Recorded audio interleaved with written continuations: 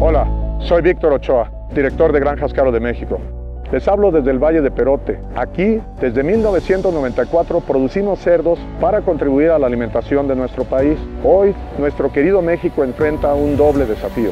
Proteger la salud de la población y mantener operando aquellas actividades fundamentales para sus habitantes como lo es la alimentación. Por eso estamos haciendo todo lo necesario para proteger la salud de nuestros colaboradores, pero también para lograr que nuestra operación siga produciendo cerdos para asegurar el abasto a los más de 10 millones de mexicanos que dependen de nuestra producción para obtener carne de la más alta calidad.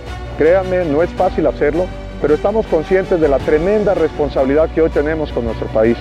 Pueden estar seguros de que no les vamos a fallar.